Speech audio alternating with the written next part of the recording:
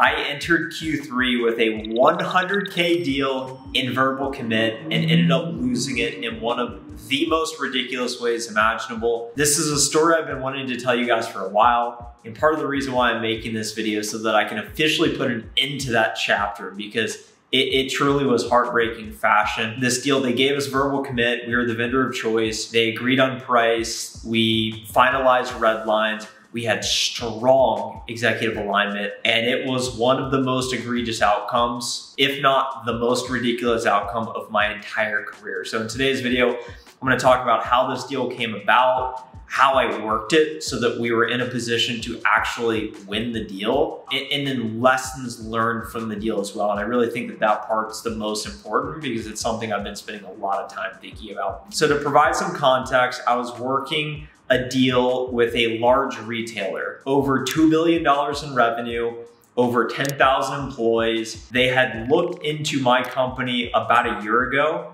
but they just weren't at a place of maturity to, to make that purchasing decision. So they continued with the status quo of how they were doing their program um, previously and just historically. And there, there were all sorts of pain points with it, but they just weren't ready to change. Fast forward a year, an SDR sets up a meeting with a director level contact um, because the SDR had been reaching out to the, the C-level prospect who had met with us a year ago and actually has a relationship with one of the executives on my team. So that further reinforced why I thought we were gonna win the deal. So this C-level executive told the director, hey, go meet with these guys, see what's changed on their end, da da da. So I meet with this director level. This guy, he holds his cards to his chest a bit, but he basically says, look, we hate the way we're doing our program today. We want to update it. Tell us more about why you may be a better fit. I know that this is going to potentially be a massive deal, so I, I pull out all the stops on that next conversation for a discovery call. We went from the initial meeting to a discovery call. We, we bring in that director's C-level contact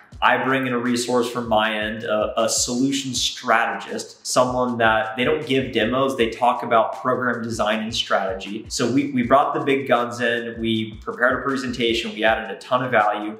Uh, the call went well so that we then scheduled a solution presentation. And then I brought on a solution engineer, um, just basically a personalized resource to run the demo. And I also brought on an implementation partner and, and the executive from that team so that we could really share, hey, this is how we've done this for other retailers.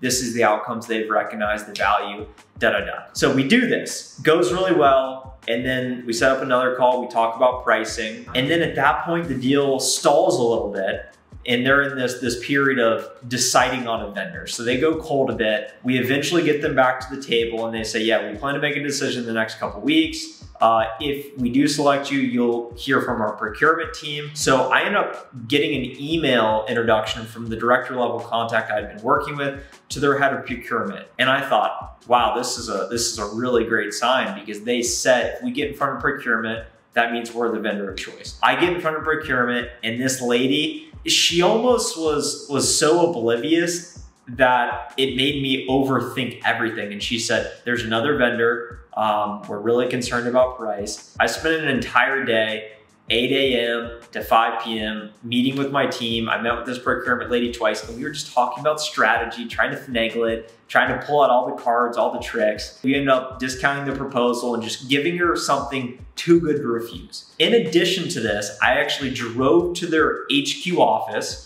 uh, which, which was local to where I'm at. And I, I, I prepared two swag bags for the director and that C-level just as additional reinforcement of look, we are the right partner. We really want to earn your business. We want to work with you. And I walk into these swag bags to their corporate HQ. I'm wearing shorts and t-shirt, classic tech employee.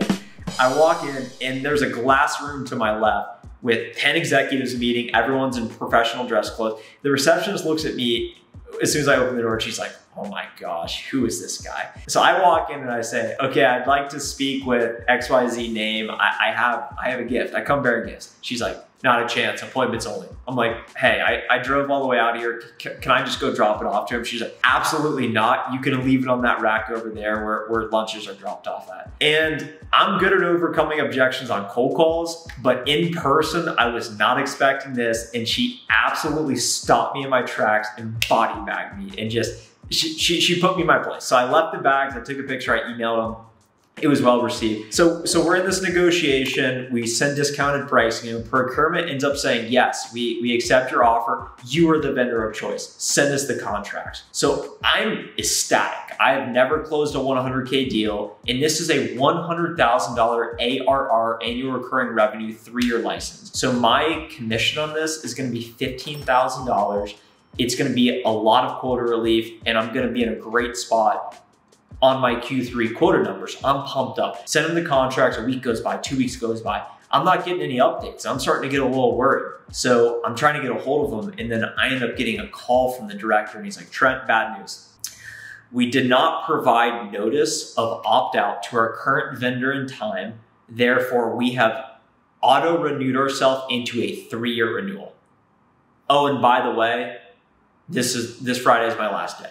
And I'm thinking, this is an absolute bombshell. That there's no way this is true. It, you hear it, you say there's no way this is true. So I think maybe he's lying. I, I need I need the full story. So we, we leave that call. I go back to my team, and we're just like scratching our heads, saying no way, no way. We immediately go to our C-level contact. I go back to procurement. I'm like, what is the deal? Their stories were a little different, but but the consensus was we did not provide a 90 day intend to not renew to our current vendor and they have auto renewed us into a three-year license. The reason why it's such a great business model is because it's recurring revenue. You send a contract, they sign, and it's, it's typically auto renewal unless they let you know otherwise. Some companies are stringent on this. Some companies say, we will take you to court, we will sue you if you don't follow your word. And I'm not sure if that would have been the case here, but this company was just risk adverse and they, they didn't want to roll the dice. So they ended up auto renewing themselves into a three year agreement with a vendor they did not want to work with. One, so big L for them, and tremendous L for Trent because now there's no chance of getting the deal done. They they told us, hey, maybe we'll be able to negotiate and get this to a one year renewal. And I ended up following up with them. They said, yeah, license it through, through 2025. So I had a tough time digesting this. This was in the first week or two of the start of um, the start of July, the start of Q3. So it was an absolute bummer. And you go through these scenarios in your head saying, if I had that, then I would be happy. And I'm going to talk about the lessons right now. Lesson number one is is the details. The details matter. I I was I thought I knew the details before, but you, you got to have tough lessons like this to really understand mistakes to avoid in the future going forward, and I highly encourage you to do this as well. If you are trying to displace an existing vendor, try your best to understand the spend with that existing vendor, but at the very least, understand what are the renewal dates? What dates are your contract valid from? So that if you decide to change, you can give them an opt out in time because I've seen other companies get forced into an auto renewal against their will. That is a critical detail that I missed. I must take responsibility for that. And that was my main lessons. Pay attention to the details. Ask the questions that maybe seem repetitive, maybe seem like, hey, what, what, why are you asking me that? And that was a that was a critical detail I missed, which resulted in us losing the deal. Um, and it was an absolute bummer. And that carries us into lesson number two, sports analogy, move on to the next play. Imagine watching your favorite basketball team or NFL team and, and, a, and a, player just does something stupid and, and, you, the quarterback throws an interception. You see them on the sidelines. They're all pissed off. All the teammates are like, hey, it's okay, okay, move on to the next play. All that means is assuming you, you prepared, you tried your best, you control what you could control, Sometimes circumstances will not go in your way. You'll throw the interception, you'll lose the deal, but you cannot let that define you. You must forget it and move on, learn from it, and move on to the next play. So I, have been a victim to this. I've I've felt myself thinking in those moments alone, outside of the workplace, in the shower, going on runs, saying, "Man, if I would have closed this deal, I would have I would have basically been on my quota. I would have still been on track to promote. It's not fair." why me? Why is this happening? And as soon as you start thinking like that, it, it just it's it, it's the wrong way to think about it. So you got to move on to the next play. Hey, Trent, you lost the deal. You messed up. Got to take responsibility. You got to go figure out how to replace this, and, and you cannot let that define you. Even if it's good or bad, you got to move on to the next play, and that's what sales is all about. And then finally, the third lesson is just more pipeline We talk a lot about pipeline generation on this channel. And I came into the quarter with this deal in verbal commit, assuming that it was gonna happen.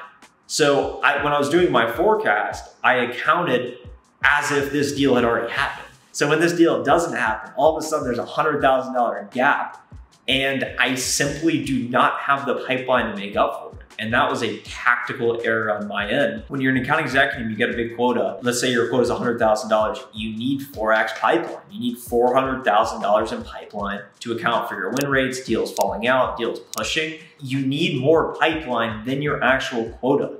That's what it's all about. Those are my lessons from the deal. Um, I hope you learned something from this, this outline here today of me losing my $100,000 deal. We're gonna bounce back from it. I'm still in search for the 100K deal. If you got value in today's video, hit the like button now. Comment down below for the algorithm. Uh, subscribe for more sales videos just like this one. And if you're interested in being part of a community that's bigger than yourself, being surrounded by other like-minded people, they say you're the sum total of the five people you spend the most time with. So why not purposely put yourself in a position to be around other highly motivated winners. The first link in the description below is gonna be a link to my private membership community. We're 62 deep right now. We have a private Discord Mostly everyone's in sales. I lead a weekly live call every Sunday evening where I answer your questions and also share what's top of mind for me so that we can crush the week ahead collectively. So if you want to be a part of a group bigger than yourself and expand your network and horizons and connections and opportunities and knowledge, information, resources, click the first link in the description below. I hope to see you in our next live call Sunday. Talk to you in the next video.